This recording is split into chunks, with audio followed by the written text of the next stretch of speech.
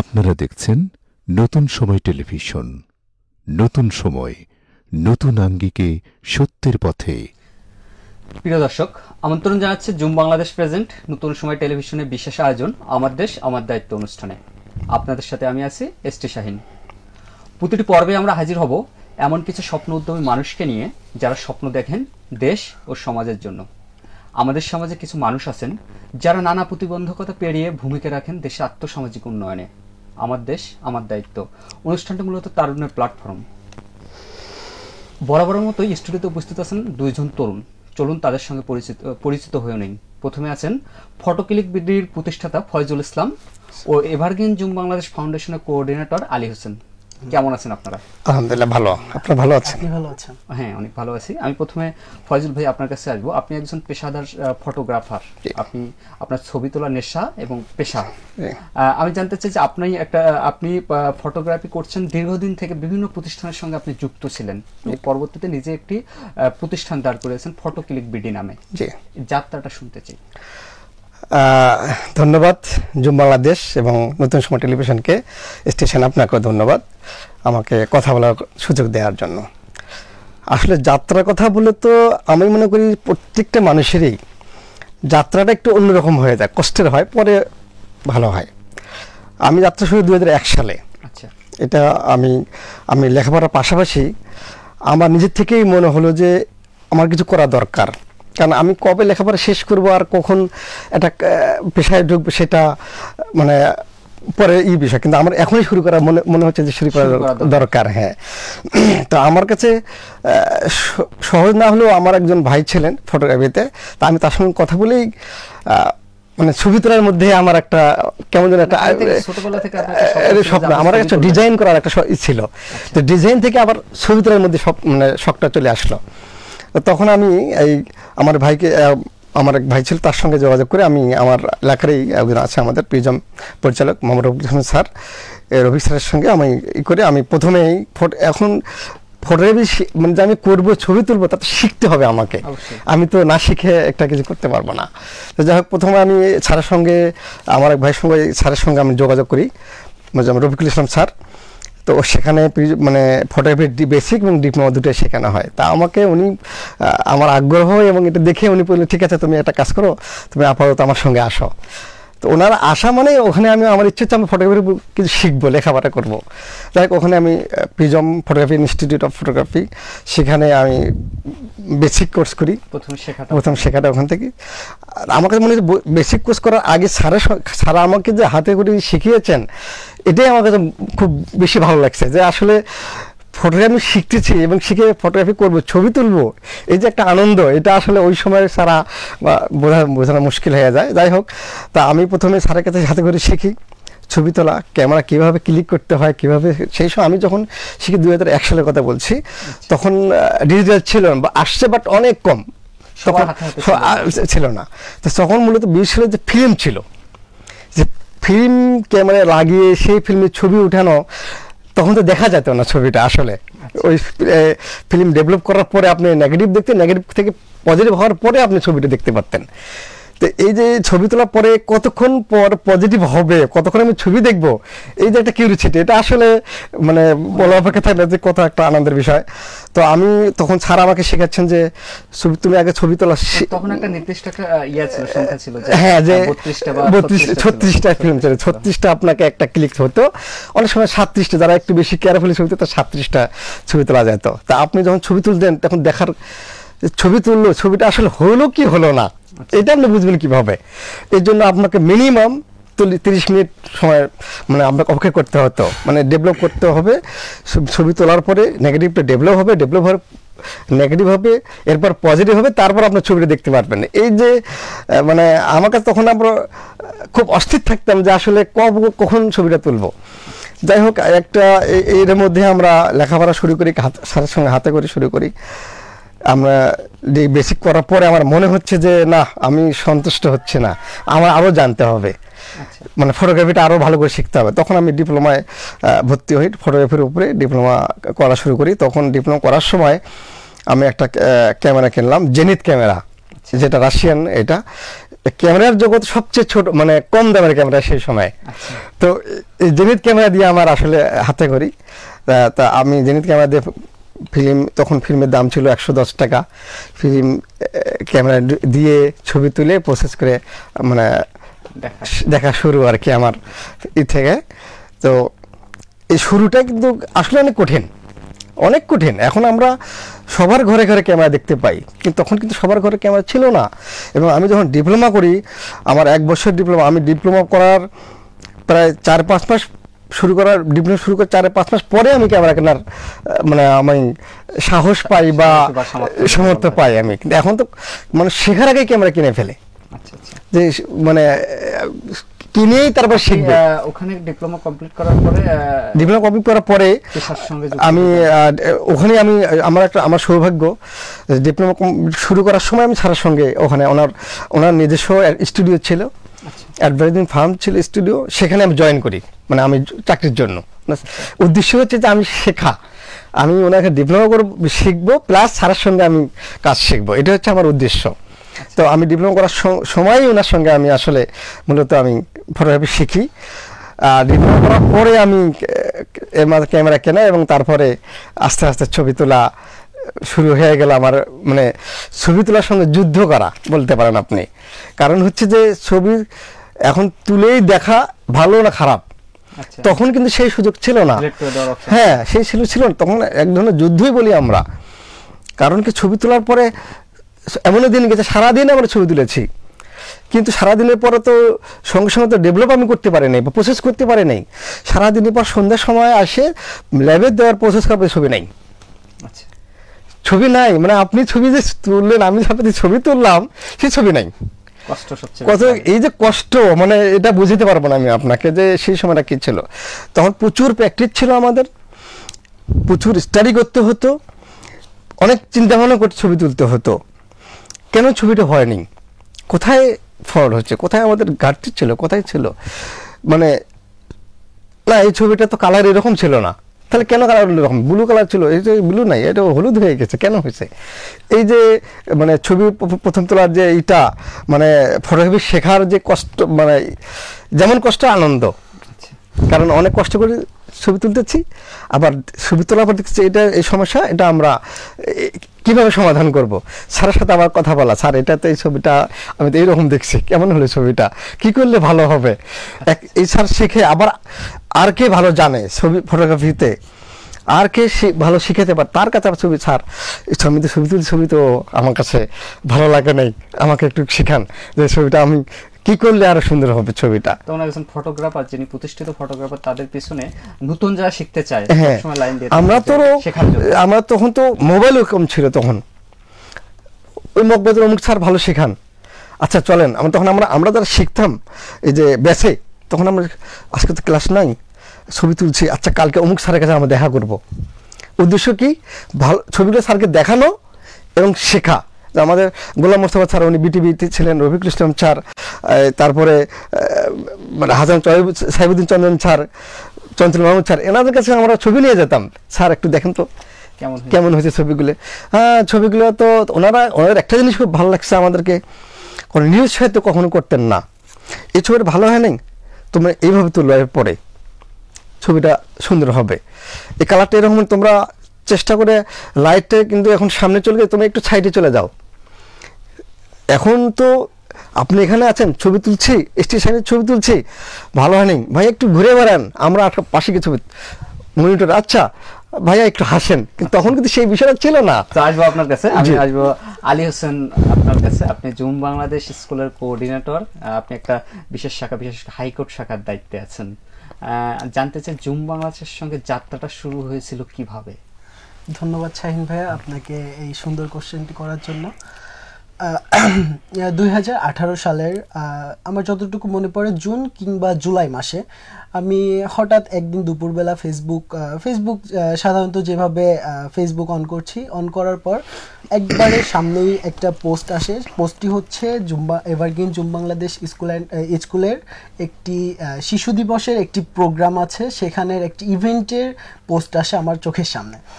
তো আমি ছোটবেলা থেকেই একবারে যত মানে যখন বুঝতে শিখেছি তখন থেকেই হচ্ছে আমার পথ শিশু সুবিধাবঞ্চিত শিশু, এদের মানে যখন থেকে আমার জ্ঞানটা হয়েছে তখন থেকেই আমার ব্রেনের ভেতর যে ওদের জন্য আমার কিছু করতে হবে এনি হাউ এরকম একটা চিন্তা ভাবনা সবসময় কাজ করতো। তো আমি এটা দেখে খুবই খুশি হই। খুশি হওয়ার পর তারপর আমার এক ফ্রেন্ড সুমায়া তো ওর মাধ্যমে আমি এভারগ্রিন জুম বাংলাদেশে একটি মিটিংয়ে আসি। মিটিংয়ে এসে তারপর আমার খুব ভালো লাগে এখানের কাজ, তারপর এখানে সব কিছুই আমার মন ছুঁয়ে যায়।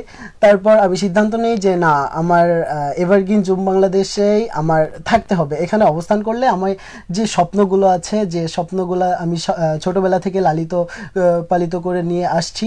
তো এগুলা পূরণ করতে হলে আমার জুমে থাকলে ইনশাল্লাহ এগুলো আমার খুব তাড়াতাড়ি পূরণ হবে। তো অবশ্যই এটার কারণ হচ্ছে জুম বাংলাদেশ একটা প্ল্যাটফর্ম এখানে অনেক ভলান্টিয়ার্স বা অনেক শুভাকাঙ্ক্ষীর সঙ্গে একসঙ্গে মিলিত হওয়া যায় অনেকের সঙ্গে অনেকের মতামত শেয়ার করা যায়।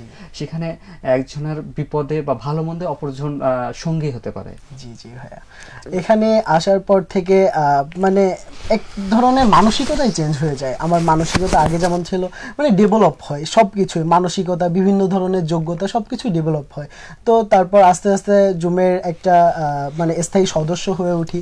তারপর হাইকোর্টে মানে হাইকোর্টে কোঅর্ডিনেটর হিসেবে আমি যোগদান করি। তারপর ওখানকার যে বাচ্চাগুলো আছে, ওখানকার যে পথ মানে পথে যে মানুষগুলা থাকে, আমি শুধুমাত্র বাচ্চাগুলা না, পথে যে মানুষগুলা থাকে, আমি তাদের ফিলোসফিও বোঝার চেষ্টা করি এবং তাদের কোথায় সমস্যা আছে, সেই সমস্যাগুলো নিয়ে কীভাবে তাদের সমাধান দেওয়া যায়, সেজন্য চেষ্টা করি। আর এভারগ্রিন জুম বাংলাদেশের প্রতিটা মানুষই এত সাপোর্টিভ যে এখানে কাজ করে খুব আনন্দ পাওয়া যায়। আঠেরো সালে একটা প্রোগ্রামে অংশগ্রহণ করার জন্য সদস্য হলেন। দুই হাজার উনিশ সালে এসে কোঅর্ডিনেটর এবং একটি শাখার দায়িত্বে। কেমন লাগে এবং আপনার লেখাপড়া কি অবস্থা বর্তমানে? থ্যাংক ইউ ভাইয়া। আসলে কেমন লাগে এটা তো মুখের ভাষায় আমি প্রকাশ করতে ব্যর্থ হব, এজন্য দুঃখিত। তবে এটুকু বলতে পারি যে মানে আমার যে যে ছোটবেলা থেকে যে স্বপ্নগুলো দেখেছি তো সেই স্বপ্নগুলো আস্তে আস্তে করে পূরণ হচ্ছে। তো এটার মানে মানসিকতা বা এটার অনুভূতি আমি ভাষায় প্রকাশ করতে পারব না। তো এই জন্য এভারগ্রিন জুম বাংলাদেশকে ধন্যবাদ। এবার আপনার পরবর্তী কোশ্চেনে আসি যে আমি হচ্ছে এবার ইকোনমিক্সে অনার্স করতেছি অনার্স ফার্স্ট ইয়ারে আছি। তো পড়ালেখার পাশাপাশি ইনশাল্লাহ মানে মৃত্যুর আগ পর্যন্ত আমি আশা রাখি যে তো আপনার নিজেরও লেখাপড়ার অনেক প্রয়োজন বেশি। মানে জুম বাংলাদেশকে সময় দেওয়া নিজের লেখাপড়া দুটো ব্যালেন্স হয় কীভাবে? হবে ভাইয়া অ্যাকচুয়ালি মানে সবকিছু হচ্ছে দায়িত্বের উপর, আমার ইম্পর্টেন্স উপর। কোনটা আমি ইম্পর্টেন্ট ইম্পর্টেন্স কতটুকু দিব সেটার উপর নির্ভর করে। তো আমি আমার লাইফ সেটেল করাও যেমন আমার ইম্পর্টেন্ট তেমন আমার দেশের, আমার একটা সাইডে তারা সুবিধা বঞ্চিত, তারা পথ শিশু তো এইসব সাইডটাও ডেভেলপ করাও কিন্তু আমার দায়িত্ব। তো আমার লাইফ সেটেলের দায়িত্বটা যেমন আমি নিতে পেরেছি, সেই পথে আমি হাঁটতেছি, তাহলে আমি এই এই সাইডটা কেন আমি বাদ দিব? তো আমি দুইটাই ইম্পর্টেন্স সেম দিয়ে এখানেও আমি এগিয়ে যাচ্ছি এদিকে আমার যে দায়িত্ব আছে দেশের প্রতি সমাজের প্রতি এদিকেও আমি এগিয়ে যাচ্ছি। অবশ্যই অনেক সুন্দর উত্তর দিয়েছেন আপনি। আহ, ফয়জুল ভাই আপনার কাছে আবার আসব। জি। আপনি আপনার চ্যালেঞ্জ এবং আপনার প্রতিবন্ধকতার কথা অনেক বললেন যে আসলে আগের দিনে যারা ফটোগ্রাফার ছিল তাদের অনেক কষ্ট করতে হয়েছিল। বর্তমানে বর্তমানের তুলনায় অনেক বেশি কষ্ট করতে হয়েছিল। আপনি আহ, এই কষ্ট অতিক্রম করার পর আপনি নিজে আহ, বর্তমানে একটি ফটো ক্লিনিক নামে আপনার একটা ব্যবসা প্রতিষ্ঠান রয়েছে। সেখানে আপনার কতজনের আপনি কর্মসংস্থান সৃষ্টি করেছেন বা আপনার মাধ্যমে কতটি ফ্যামিলি তার পরিবারকে কতটি মানুষ তার পরিবারকে সাপোর্ট দিতে পারে? ধন্যবাদ আবারও আবারও। আসলে ফটোগ্রাফি তো আমি করি অনেক দিন আচ্ছা। কিন্তু আমার কাছে কেন মনে হয়েছে যে আমি নর্মালি প্রথম যে ফটোগ্রাফিটা করি, এটা হচ্ছে আমাদের একটা বিজনেস হচ্ছে আমরা ছবি তুলি যেমন নেশা এবং পেশা। তো ওই ছবিতে এটা হচ্ছে আমার পিকচার লাইব্রেরি বলি থেকে। সেটা হচ্ছে যে এই ছবি দিয়ে আপনি ক্যালেন্ডার গ্রেডিংস কার্ড কিংবা বিভিন্ন পত্রপত্রিকা দেওয়ার জন্য এই ছবিগুলো আমরা তুলি। কিন্তু আমার কাছে মনে হলো একটা সময় যে এটা শুধু আমি বাঁচতেছি বা আমি খাচ্ছি বা আমি চলতেছি আচ্ছা, এর মাঝে আরেকটি প্রশ্ন যে ফটোগ্রাফি করার পর যেটা শখ ছিল আপনার আপনি তো শখ বা নেশার মতো ছিল হ্যাঁ। সেখান থেকে আপনি অর্থ ইনকাম করতে পারলেন মানে ভালো লাগাটা আসলে আচ্ছা, কীরকম ছিল? আসলে প্রথম কথাই হচ্ছে আমি ছবি তুলবো। আচ্ছা। ছবি তুলবো আমি। স্যার ছবি তুলছেন? অমুক স্যার ছবি তুলছেন? আমিও ছবি তুলবো। এত ভালো ছবি। এই এই ছবি তোলাটাই আসলে আহ, মানে প্রথমটা পূরণ প্রায় একটা জায়গায় আমার স্বপ্নটা পূরণই হয়ে যাচ্ছে এবার ছবি তুলতে পারতেছি আমি। কিন্তু ছবি তোলার আমি দেখলাম যে এটা বেশ একটা সময় যাচ্ছে এটার পিছনে আমার সময় এটা এরপর তো আমার একটা বাঁচতে হবে বা আমার কিছু করতে হবে একটা প্রফেশনে যেতে হবে। তখন আমি চিন্তা করলাম না আমি আসলে এটাই ধরি না কেন? আচ্ছা। ফটোগ্রাফিটাই ধরি। আমি এখান থেকেই অনেকে আছে আমি থাকব। আমি ছবি তুলবো স্বপ্ন পূরণ হবে আমার যেমন নেশা হবে পেশাও আমার থাকল অসুবিধা কি? যদি আমার পেশা থাকে তাহলে সব নেশাটা তো একটা আরও ভালো পরিপূর্ণভাবে আমি পূরণ করতে পারব।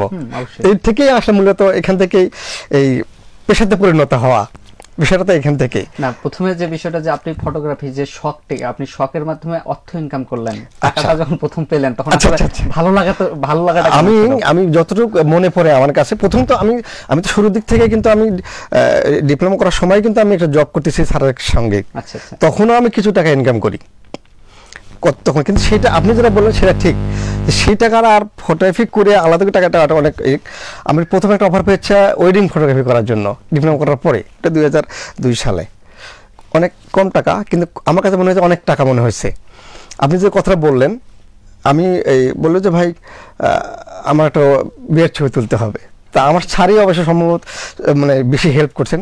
উনি বলে ফজল একটা ওয়েডিং ফটোগ্রাফি আছে। তো উনি ছাড় তো আর এসব করেন না। তুমি করতে পারবা নাকি? তা আমার খুবই মানে এ লাগছে যে অবশ্যই পারব অবশ্যই পারব আমাকে পারতে হবে। আমি এটা শিখতে চাই অবশ্যই পারব।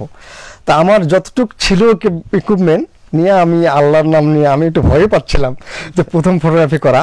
তো যাই হোক আমি ফিল্ম দিয়ে ছবি তুলে এখন তো আর ডিজিটাল ওইটার মতো সহজ ছিল না। যাই হোক ফিল্ম দিয়ে ছবি তুলে আমি ছবি তোলার পরে যখন আমি বাসায় দেখি তখন রাত সাড়ে বারোটা বাজে। কিন্তু আমি সব সময় আস্তাক ফিরলে পড়তেছি।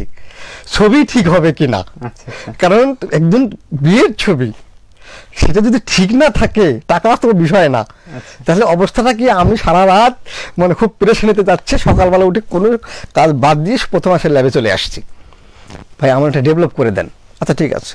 না ভাই এখনই করেন ডেভেলপ মানে আমার চাচ্ছি তো আমি ওটা দেখতে। যাই হোক খুব সুন্দর ডেভেলপ করার পরে আমার হয়তো বিশ্বাস করবেন না আপনি। ডেভেলপ করা যখন আমি দেখি যে পুরো ফিল্মটা এক্সপোজ একদম কারেক্ট এবং ঝকঝক করে আমার মনে হচ্ছে যে এত খুশি লাগতেছে মানে আমি বুঝতেছি ছবি খুব ভালো হচ্ছে। আচ্ছা। যাই আমি আর দেরি করে বলে ছবিগুলো তাড়াতাড়ি প্রিন্ট করেন। ছবি প্রিন্ট করে তখন তারপরে আমি আমার যে ক্লায়েন্ট ছিল তার কাছে সে আমাকে জিজ্ঞেস করে ছবি দেবেন কবে? তো আমি বললাম স্যার আমার তো দুই দিন সময় লাগবে। আচ্ছা। তো আমি আসলে ছবি যখন হয়ে গেছে তখন আমার দুই দিন সহ্য হয়নি। আমি ওই দিনই ওনার সঙ্গে দেখা করতে গেছি সঙ্গে মানে সন্ধ্যে সময়। তো বলল যে উনি ছবি দিয়ে বলে কে? আমি বলছি, এরকম আসলো বলল আপনি না বললেন কালকে ছবি দিবেন? স্যার আমার ছবি হয়ে গেছে তা আমি আচ্ছা ঠিক আছে খুব ভালো বসেন প্লিজ তো তখন কিন্তু একটা জিনিস ভালো ছিল সেটা হচ্ছে ফটোগ্রাফারের অনেক দাম ছিল এখনও আছে তখন অন্যরকম ব্যবসা ছিল। মানে ছবি তুলতে আসছেন তখন এখন মানে অনেকে শুনতে এখন অনেকে ক্যামেরাম্যান বলে কিন্তু তখন ক্যামেরাম্যান বলতেন না ফটোগ্রাফার বলতেন। এবং অনেক ই- করতেন আসলে অনেক বিষয় আছে কারণ হচ্ছে এখন হাতে হাতে স্মার্ট হ্যাঁ, এটাও একটা কারণ, এটাও একটা কারণ। ডিজিটাল মাধ্যমে যে আরও অন্য অন্য ক্যামেরা আছে অনেক কম দামে ক্যামেরা অনেকের মানুষের কাছে সবসময় ছবি তুলতে এটা- হ্যাঁ, এটা একটা অন্যতম কারণ। তো উনি আসলে ছবি নেওয়ার পর উনি খুব খুশি হয়ে গেছে।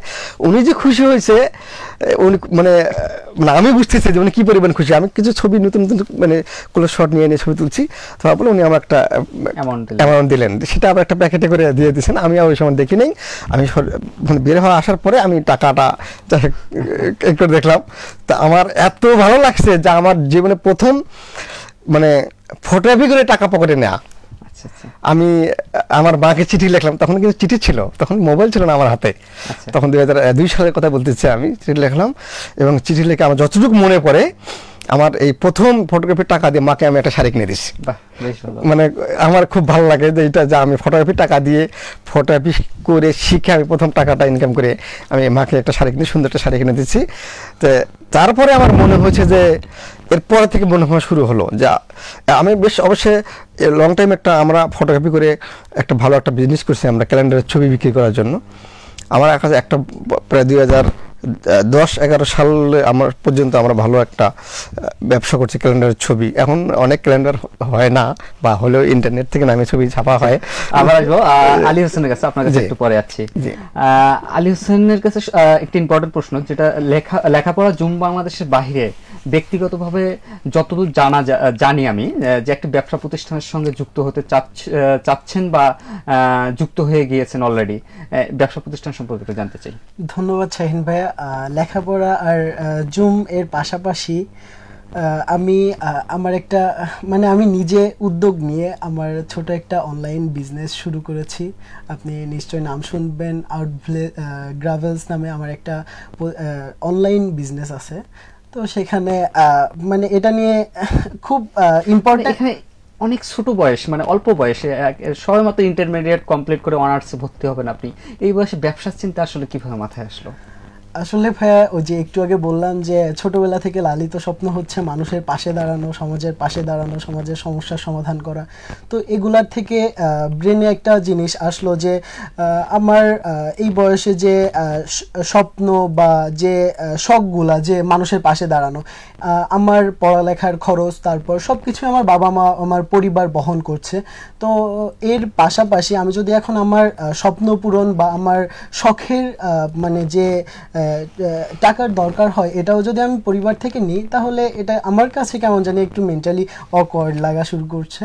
তারপর আমি ভাবলাম মানে আমি হঠাৎ করে একদিন ভাবলাম যে কি করা যায়? যে তাহলে হয়তো বা আমার ইচ্ছা বা শখ আমার এগুলাও পূরণ হলো, আবার মানে পরিবারের উপরও প্রেশার পড়ল না।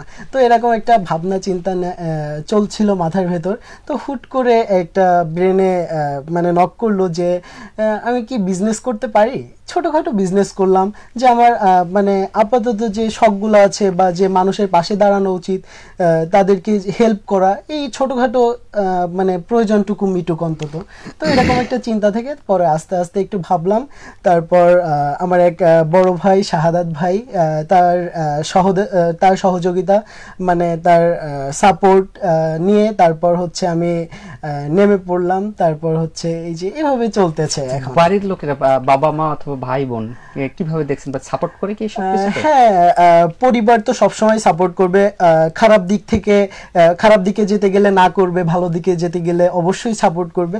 তো আমার মানে ফ্যামিলিতে সবাই মোটামুটি সাপোর্টিভ আর আম্মু বেশি সাপোর্টিভ আম্মু আমি যে কাজেই যাই সে কাজে আগে দেখে যে পজিটিভ দিকগুলা কোথায় আর নেগেটিভ দিকগুলা কোথায় যে আমি কি করতে পারি এখানে গেলে খারাপটা কত দূর পর্যন্ত খারাপ হতে পারি বা কত দূর পর্যন্ত ভালো হতে পারি? আম্মু আমার ভবিষ্যৎটা জেনে তারপর আমাকে বলে যে বাবা তুমি এই কাজটা করো। অথবা বলে যে বাবা তুমি এই কাজের ভেতর যাওয়ার দরকার নেই এখানে গেলে বিপদ আছে।